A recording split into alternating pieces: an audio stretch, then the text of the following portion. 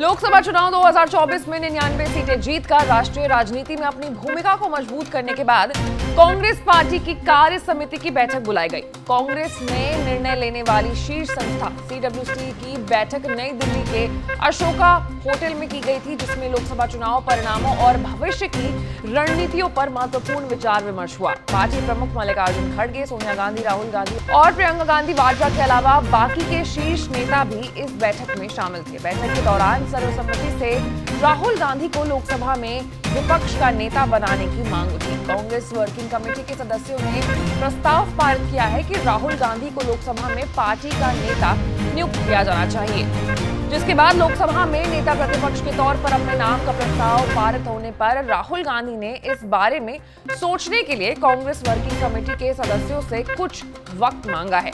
वहीं बैठक में कांग्रेस ने बीजेपी पर भी जोरदार हमला किया। सुनिए। इस प्रस्ताव में ये कहा गया है कि 2024 के चुनाव नरेंद्र मोदी जी को एक व्यक्तिगत, राजनीतिक और नैतिक हार। ये जीत है जनता की जीत, किसानों की जीत, युवाओं की जीत, दलित, आदिवासी, पिछड़े वर्गों की जीत, श्रमिकों की जीत, महिलाओं की जीत है। ये जीत है संविधान को सुरक्षित रखने के लिए। हालाँकि फ़िलहाल राहुल गांधी ने इस बारे में सोचने के लिए कांग्रेस वर्किंग कमेटी के सदस्यों से कुछ वक्त मांगा है, लेकिन उम्मीद है कि राहुल इस पद को ज़रूर संभालेंगे।